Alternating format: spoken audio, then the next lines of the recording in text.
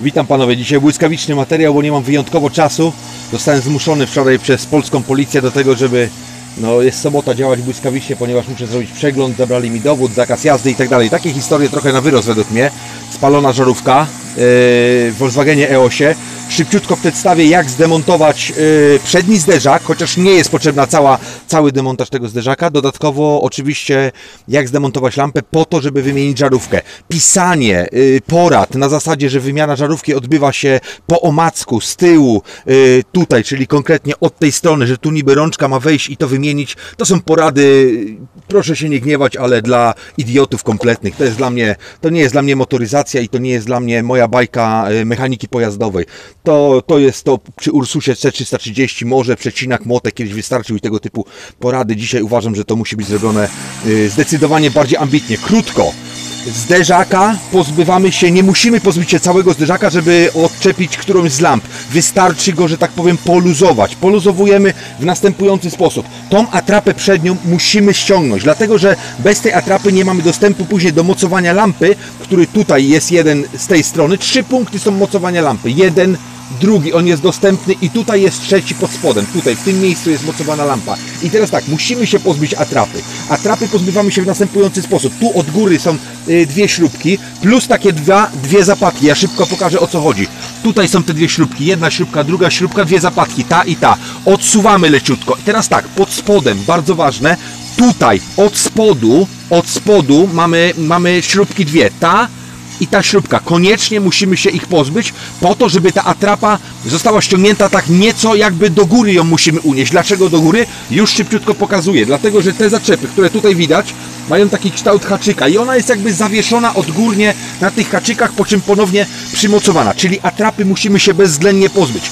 Dodatkowo pozbywamy się zderzaka w postaci tutaj Obok tych e, śrub atrapowych są też śruby e, mocujące już bezpośrednio zderzak, tak?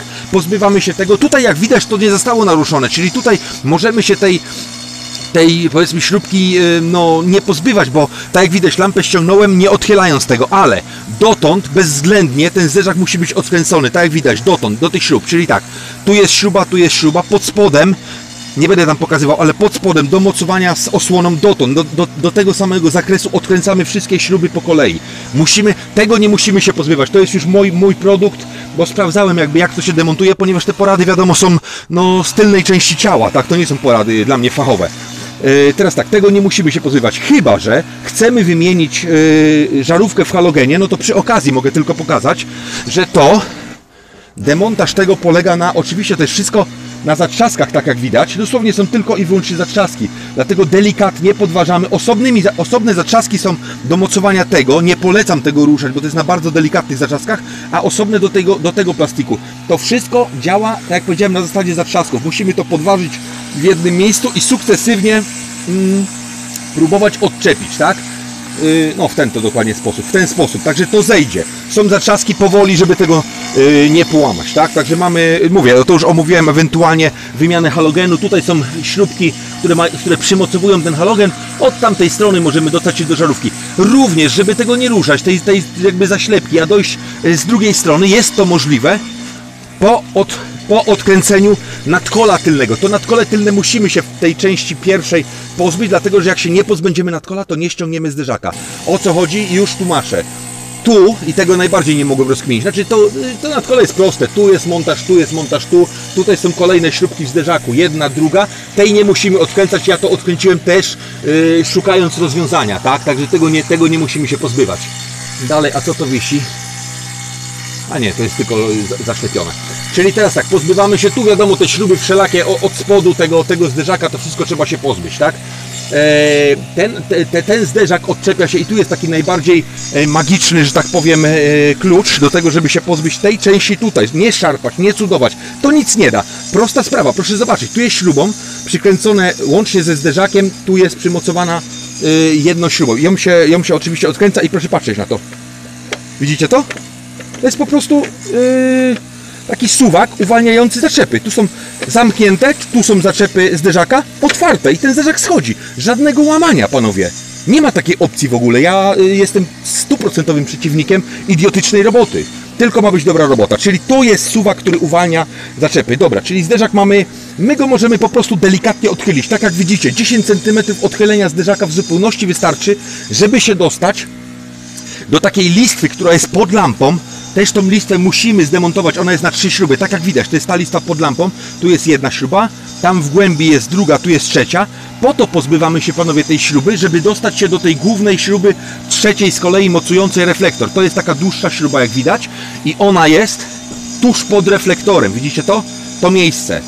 Jak nie odkręcicie tej listwy, to nie dostaniecie się do trzy punktów. Czyli tak, jeden punkt, drugi punkt, trzeci punkt. Reflektor nam schodzi po odczepieniu y, tutaj kostki głównej zasilającej reflektor, tak? Czyli kostkę odpinamy, wiadomo, tam jest taka, y, no, nie zapadka, tylko taki zaczep, którego tego. No i mamy, do, dostajemy się do, do żarówki. Żeby żarówkę wyciągnąć, to już jest dla tych, którzy myślą, że im się to uda po omacku. No niech robią po omacku, ja im życzę wesołych świąt, tak?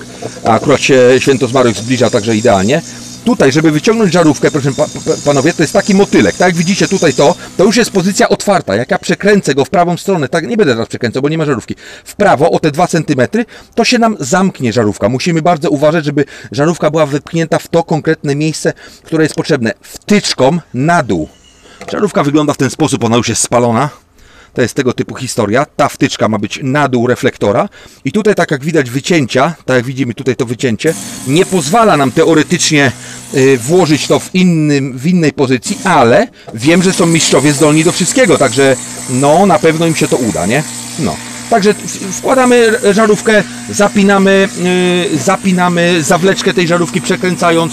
Oczywiście wcześniej wpi, wpinamy yy, kostkę, zakładamy z powrotem zaślepkę odwrotną kolejnością, skręcamy wszystko. 5 minut nie, polemizował, to nie jest 5 minut roboty. To jest dosyć, bym powiedział, ta robota, może ona nie jest trudna, ale jednak czasochłonna. Co by tutaj nie wymyślać, co by nie kombinować, trzeba przygotować sobie no, no ja uważam taką dobrą godzinkę, żeby to na spokojnie y, zrobić i poskręcać. Może 40 minut, żeby to mówię. Nie, nie na łapu-capu, nie poodrywać, tylko, tylko zrobić to dokładnie. Panowie, dziękuję Wam uprzejmie. Oczywiście, jak Wam się podobało to, a myślę, że chociaż dwóm osobom się podobało, to łapka do góry, bo to tylko i wyłącznie zachęca mnie do tego, żebym kolejnej jednej osobie kiedyś w przyszłości pomógł. Cześć, cius, wszystkiego dobrego życzę.